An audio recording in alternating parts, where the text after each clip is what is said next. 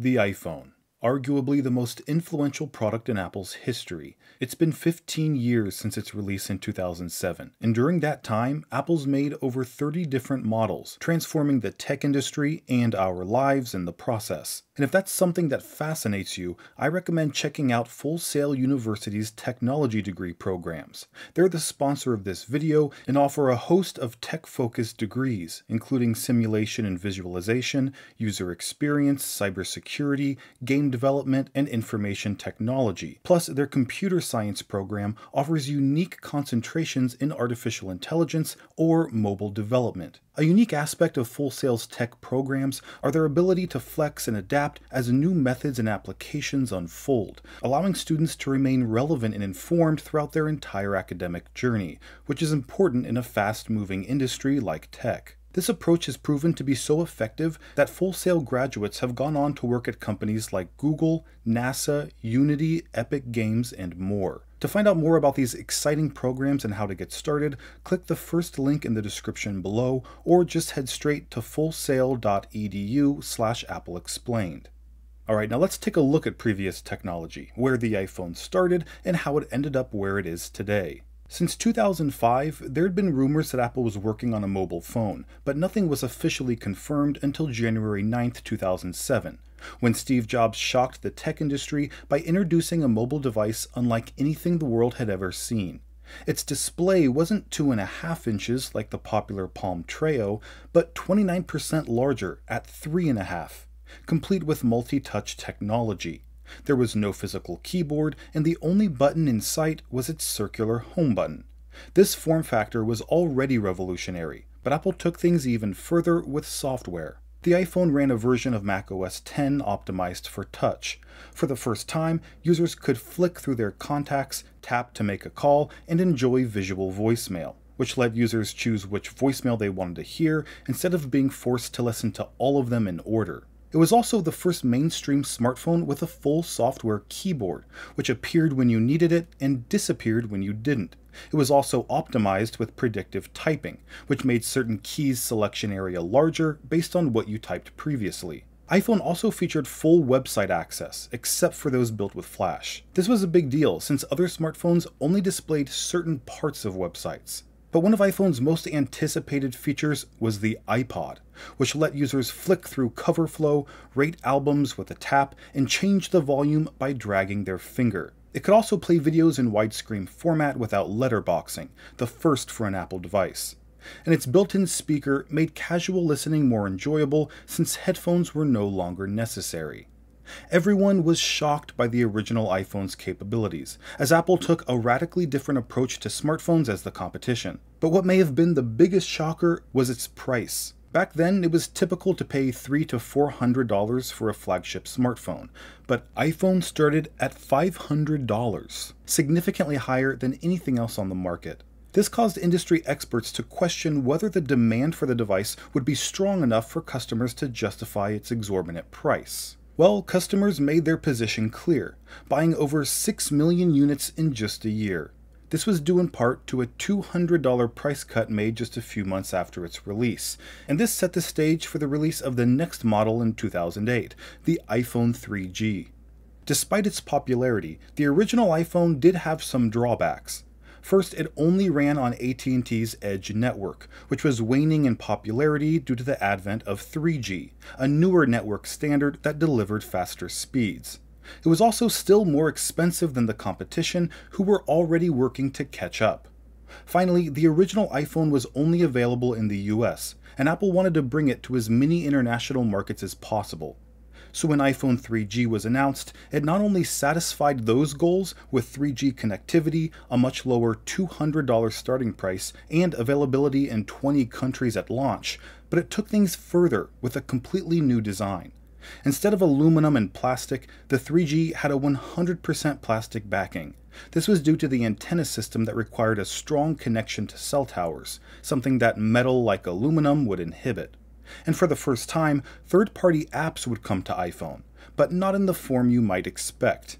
Initially, Apple announced web apps, which were essentially websites optimized for iPhone, so you could simply go to a website to play a mobile game instead of downloading an app.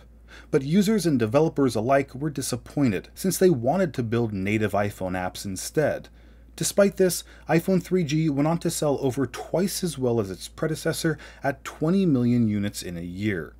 The following year, the 3GS was released, which was the model's first incremental S update. Although it had the same design, it featured improved performance thanks to the faster ARM Cortex processor, which allowed for better app launch times and smoother multitasking. It also had double the RAM of the iPhone 3G, which further improved its performance. The 3GS also featured an improved 3 megapixel camera with autofocus and the ability to record video for the first time. Voice control acted as a primitive version of Siri and allowed users to control certain aspects of the device using voice commands, like making calls, playing music, or setting reminders. Plus, the iPhone 3GS was the first model to feature a digital compass, which improved its ability to provide location based services. The iPhone 3GS was available in black and white with two storage options 16GB and 32GB. Despite being an incremental update, it sold faster than any other model, reaching 1 million units in its first weekend. The iPhone 4 was the fourth generation of iPhone, released in 2010. It featured a major design change from the 3GS, with a sleek new glass and stainless steel body. The iPhone 4 also introduced the Retina display, which had a resolution of 960 by 640 pixels at 326 pixels per inch, making it one of the most pixel-dense phone displays on the market at the time. The iPhone 4 was powered by Apple's first custom-made A4 processor and had 512 megabytes of RAM. It was available in two storage options, 16 and 32. Despite the display's increased resolution, its size still measured 3.5 inches, while the competition was moving to larger 4.5 and 5 inch displays. Another major new feature was the introduction of a front-facing camera, which allowed for FaceTime video calling, while the rear camera was upgraded to 5 megapixels, with the ability to record high-definition video. There was also a gyroscopic sensor for improved gaming and a 3-axis accelerometer for improved motion sensing. And a new noise-canceling microphone improved the clarity of phone calls. Despite its many new features and improvements, iPhone 4 was not without its share of problems. One of the most noticeable was the AntennaGate scandal, which involved a design flaw in the phone's antenna system that caused drop calls when the phone was held a certain way. Apple eventually offered free cases to affected customers to remedy the issue. Despite this, iPhone 4 was a huge success, with over 20 million units sold in just three months after its release. The iPhone 4S was another incremental upgrade over the 4, released in 2011. Its upgrades included a new dual-core A5 chip, which provided significant improvements in processing power and graphics, Siri, a voice-controlled personal assistant, which allowed users to perform tasks and access information using natural language commands. And there was a new camera system. The 4S was still only offered in 16 and 32 gigabyte capacities and had the same 3.5 inch Retina display. The device's 8 megapixel rear facing camera was a notable upgrade also. It featured a larger sensor, which allowed for better low light performance, and had improved noise reduction, which helped produce clearer, more detailed images. Plus, the camera was able to record 1080p HD for the first time, and the front-facing camera, which was used for video calls and selfies, also received an upgrade, with an improved resolution and faster shutter speeds. The model was well received, with 4 million units sold in the first three days of its release, making it the most successful iPhone launch to date at the time. That was until the iPhone 5 in 2012, which was perhaps the biggest update since the original. For the first time ever, Apple increased the display size from 3.5 inches to 4, which may not sound like much by today's standards, but it did allow for an extra row of apps on the home screen and more room to display content in a way that wasn't possible before. It was also the first iPhone to run on 4G networks, which delivered 5 to 10 times faster speeds than 3G. Its new A6 processor was faster too and allowed for quicker app launches, smoother scrolling, and better overall performance. Its camera was also improved with an 8 megapixel sensor and a f2.4 aperture which delivered better low light performance. And if all those changes weren't enough, the iPhone 5 also had a completely new design. Anodized aluminum was reintroduced to the back panel with a strip of glass at the top and bottom for radio signal pass-through. It had diamond chamfered edges that aligned seamlessly with the display panel, and for the first time, Apple replaced the 30 pin connector with the Lightning port. This new connector was smaller and more durable, but it meant that users would need to purchase new accessories or adapters for compatibility with their new phone. This caused substantial outrage on the internet, with people accusing Apple of changing the port just to sell more power cables and adapters. Despite its larger display and additional features, the iPhone 5 was 18% thinner than the 4 and 20% lighter. It went on to become Apple's best selling model at that point, achieving 150 million total worldwide sales compared to the iPhone 4S's 72 million. It was a sales success, although there were complaints about the iPhone 5's durability since its screen appeared to crack more often than previous models, and its aluminum chassis scratched easily, leaving noticeable blemishes. The following 5S took the same design as the 5, but refined a few features, like the new A7 chip, which was the first 64 bit processor used in a smartphone, delivering up to twice the speed as A6. The A7 chip also included a new motion coprocessor called the M7, which was able to track a user's movement, like automatically counting steps throughout the day. Another refined feature of the 5S was its rear camera, which featured a larger 2.2 aperture for even better low light performance, alongside a new True Tone flash, which added a second warmer LED.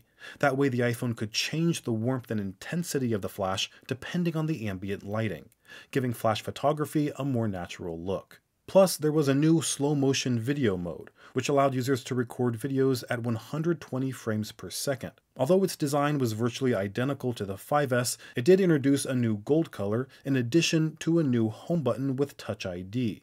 This allowed users to unlock their phone and make purchases with just a touch of their finger. During this same event, Apple introduced a second, lower cost iPhone model called the 5C. Instead of a premium aluminum design, it featured plastic that came in five different colors with matching wallpaper. Internally, the 5C was essentially a previous gen iPhone 5 with the same processor, display, storage options, and memory, but one difference was its $100 price, making 5C the lowest cost iPhone Apple ever made.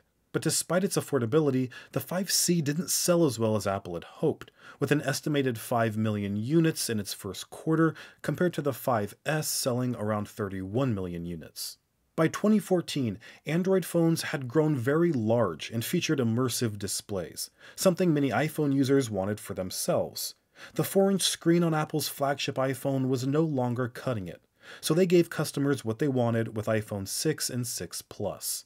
The entry model had a 4.7 inch screen, 15% larger than the 5S, while the 6 Plus had a 5.5 inch screen, significantly larger than any iPhone before. Their designs were thinner, lighter, and rounder, with a new antenna layout on the back. Not only were their displays larger, but they also featured multiple domain LCD panels, which arranged pixels in a specific pattern to improve viewing angles. Apple's A8 chip powered both models, which featured improved performance and better battery life, giving users up to 14 hours of talk time and 10 days of standby time. The rear facing camera added the ability to shoot 1080p Full HD video at either 30 or 60 frames per second, and 720p HD slow motion video at either 120 or 240 frames per second. But one change some users didn't like was that the camera protruded from the device instead of being flush like previous models. Near field communication made its debut on iPhone 6 and 6 Plus, which was initially only used for Apple Pay. A new 128GB storage option was added, while the M8 coprocessor included a barometer to measure altitude change. The 6 and 6 Plus were the first models to be sold by Apple unlocked by default, so their prices didn't include the carrier subsidies of previous models. That meant the 6 started at $649, while the 6 Plus started at 849. Apple ended up selling over 220 million iPhone 6 units and over 56 million 6 Plus units, making this generation of iPhone the most successful up to this point. The following year, Apple again added an incremental S upgrade with the 6S and 6S Plus. They featured an updated A9 chip, which allowed for faster Touch ID recognition and the ability to use Siri hands free while unplugged from power. There was also a new 12 megapixel rear camera lens capable of recording 4K video, a tougher 7000 series aluminum to combat bending issues that went viral with the previous iPhone 6, and something called 3D Touch, which used pressure sensitive technology to detect different levels of pressure on the screen, allowing for new gestures and interactions, like peek and pop to preview content, access menus, and more. The feature required a new hardware layer built into the display panel, and Apple added interactive display tables at their stores to showcase the feature. In addition to the gold color introduced with iPhone 6, the 6S featured rose gold for the first time. Its pricing remained the same as the previous year, and the new models proved to be a sales success, although not quite as many units were sold as the previous generation. At this point, the iPhone was reaching record high prices, with the highest capacity 128GB 6S Plus retailing for $949. This put the flagship iPhone out of many smartphone customers' budget, especially in countries like India and China. So Apple created their most affordable iPhone yet with the SE. It was essentially an iPhone 5S with the new A9 chip available in the same gold and rose gold as the 6S models, and at a retail price of $399, the SE was one of the best value smartphones on the market, despite having a relatively small 4 inch display. Apple never released specific sales numbers, but the model appeared to be very popular, surpassing even Apple's expectations. The 7 and 7 Plus was expected to be a major upgrade the following year, but it was much more incremental than the jump from the 5S to 6. The iPhone 7's design remained largely unchanged, with only a different antenna layout and a new capacitive home button that vibrated when pressed. The feature was enabled by Apple's Taptic engine, which took up space near the bottom of the device where the headphone jack would be, except Apple removed the jack altogether with iPhone 7 citing the courage it took to abandon an old technology despite customers wishing for the opposite. Many users were upset by this change, since wireless headphones hadn't yet become popular. To help prevent blowback, Apple included a lightning to headphone jack adapter with every iPhone 7, but users were still frustrated that they'd no longer be able to charge the device while listening with headphones. Other changes made to the device were improved water and dust resistance, better battery life, a new 256GB storage option, stereo speakers, a 7 megapixel selfie camera, and a new color option Apple called Jet Black. The 7 Plus received a significant rear camera upgrade with a new telephoto lens, allowing for portrait mode, a photo feature that imitated the bokeh effect of high end DSLR cameras reception to the 7 and 7 Plus were mixed, since removing the headphone jack added inconvenience for users, and the devices themselves weren't a huge leap from the previous generation. Despite this, the 7 became the best selling iPhone in the world during its first quarter and helped Apple achieve record high revenue. In 2017, there was a lot of confusion with the new generation of iPhones, since Apple broke from tradition in a few different ways. First, everyone was expecting an iPhone 7S, but instead, Apple skipped to iPhone 8. And for the first time ever, Apple increased the base prices for all models, with the entry level iPhone 8 costing $50 more than the 7.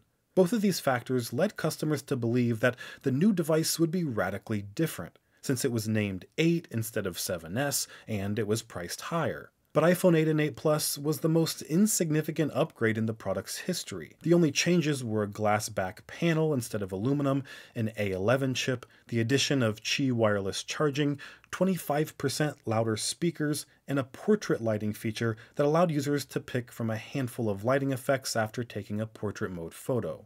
These changes hardly seemed worth it, and Apple was about to confuse customers even further by revealing a third iPhone model alongside the 8 and 8 Plus. It was called the 10, but instead of using the traditional number 10, they opted for the Roman numeral, which was an X. So this had people calling it the iPhone X and wondering if it was a new generation compared to the 8, and then wondering if there was ever an iPhone 9. It turned out Apple called it the 10 since 2017 was the iPhone's 10 year anniversary, but despite all the confusion, iPhone 10 was the big upgrade people had been looking forward to for years. It had an edge to edge OLED display, a stainless steel design, a new Face ID system, no home button, a new gesture navigation system, and the biggest display ever in an iPhone at 5.8 inches iPhone 10 represented a new direction for Apple. And while you may have expected it to receive a warm welcome, it was actually the most criticized iPhone ever. The first issue was its price. It started at $1,000, a number several people laughed at during its reveal, since that was a $350 increase over the iPhone 7 starting price from the previous year. The second problem was the notch, a feature you may not think is odd today, but something countless people were disgusted by back in 2017. In fact, several tech YouTubers refused to buy the iPhone 10 as a boycott against Apple's ridiculous $1,000 asking price and their decision to include an ugly notch. But as it usually happens, this small group of critical voices didn't represent the public at large, who ended up becoming so hyped for the iPhone 10 it ended up selling over 60 million units, driving Apple's revenue to record highs and proving that customers were willing to pay a premium for smartphones with more advanced features. With that in mind, Apple introduced the 10s and 10s Max in 2018, which set a new record high screen size for iPhone with the Max measuring in at a whopping 6.5 inches, although there weren't many other new features. The XS and XS Max had A12 chip, a 512GB storage option, smart HD photos, depth control, which allowed users to change the bokeh effect of portrait photos, and stereo audio recording while capturing videos. The entry level price of the XS remained the same as the 10, but the new XS Max cost $100 more at $1,100. The lack of significant new features led customers to purchase used iPhone 10 units, which were more affordable, and the iPhone 10R, which was a new lower cost version of the modern form factor introduced the previous year. The 10R cost $749, significantly less than the 10S, while still offering a large 6.1 inch edge to edge display, Face ID, and similar camera features. Plus, the color options made the device even more appealing. Although it didn't have premium features like an OLED display, a stainless steel design, dual rear cameras, or depth control, the 10R hit the sweet spot for most iPhone customers, and it ended up becoming Apple's best selling model and the most popular smartphone in the world in 2019. With the success of Apple's three model strategy, they took the same approach in 2019 with the iPhone 11, 11 Pro, and 11 Pro Max. The entry level 11 had a lower price than the 10R at $699 and included even more features, like dual rear cameras that included a wide angle lens, significantly improved battery life thanks to the A13 Bionic chip, more memory, and the ability to play spatial audio. It went on to become the most popular model globally for 2019 in less than four months after its launch. The 11 Pro and 11 Pro Max were also a success, with a new XDR display that had improved contrast ratio, an improved camera array that included three lenses, optical image stabilization, multi camera recording, deep fusion, and night mode, plus a new midnight green color option. Its design was changed slightly with a frosted glass back, a centered Apple logo, and a square shaped camera bump that protruded from the device even further than before. While Apple had been updating their flagship iPhone models, the lower cost SE continued to see steady sales, so Apple updated the device in 2020 with a completely new design. It was essentially an iPhone 8 with the new A13 Bionic chip. Its price remained $399 and was actually beating out the $1,400 Galaxy Ultra in many processing benchmarks, making it an even better value than the original SE. In the fall of 2020, Apple announced a new generation of flagship iPhones that many people didn't expect. First was the iPhone 12 mini, a super small and compact iPhone that featured the same premium features as the standard 12, like the A14 Bionic chip, an aluminum design with flat edges, MagSafe charging, more durable ceramic shield front glass, 5G connectivity, and Dolby Vision video recording. But its price wasn't lower than the previous iPhone 11. It was actually the same, at $699, despite having a smaller display. While many people were excited for a small flagship iPhone that could easily be used one-handed, most smartphone customers were used to the large displays of the last several generations, and the 5.4 inch screen on the 12 mini just wasn't appealing. As a result, the mini sales were very disappointing, with Apple dramatically slowing production just two months after its release and later stopping it entirely. The standard iPhone 12 was well received, though, despite its $100 price increase over last year's model, while the 12 Pro and 12 Pro Max received an improved telephoto lens with 2.5 times optical zoom, the ability to record Apple ProRAW video, and the addition of a LiDAR scanner that allowed for new augmented reality applications and improved portrait mode photography. But there is one last change that affected all iPhone models being sold by Apple beginning in fall of 2020 the removal of the EarPods and power adapter that had always been included with iPhones since the original in 2007. Apple cited environmental concerns as the reason for leaving out the accessories since it would reduce e waste, but many speculated the primary reason was for cost savings, since including 5G in iPhones was more expensive than Apple had hoped, and they needed to offset the cost. The following year in 2021, many expected the mini model to be discontinued, but Apple had already prepared its production two years ahead of time, without knowing its sales would be so disappointing. So they continued as planned with the 13 mini, it had an improved display, an A15 Bionic chip, cinematic mode video recording, one and a half hours of extra battery life, and a new photographic style feature. Despite the improvements, it continued to sell poorly. The iPhone 13 had the same features along with a larger 6.1 inch display, while the 13 Pro and Pro Max received more substantial features, like a 120Hz ProMotion display, which made scrolling through websites and home screen apps much smoother, a new 3 times optical zoom, and a macro photo and video mode. With iPhone 14, Apple finally discontinued the Mini and instead opted for models with a focus on larger displays. The entry level iPhone 14 was $100 more than the previous year at $799 and featured a 1.6 inch display, emergency SOS via satellite, crash detection, improved low light photos, and action mode stabilization. The new 14 Plus was $899 and had a 6.7 inch display and the longest battery life ever in an iPhone while the Pro and Pro Max had the same pricing as the previous year and included the most radical change to iPhone's design since the 10. Instead of a smaller notch, Apple introduced the Dynamic Island, similar to the hole punch bezels found on Android devices, although Apple's version had a secret weapon. The software built around the new island gave it unexpected functionality. It moved like a liquid and could expand, contract, separate, and even show color-coded alerts when the microphone or camera was active. It gave the Pro models an additional level of multitasking that others didn't have. Then there was the always-on display, which allowed users to see the time and notifications without having to wake up the device. These two features were significant upgrades and led many to purchase the 14 Pro or Pro Max over the entry 14 and 14 Plus.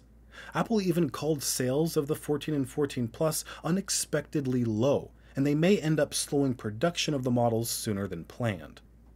So that is the history of the iPhone up to this point. This is Greg with Apple Explained. Thanks for watching till the end, and I'll see you in the next video.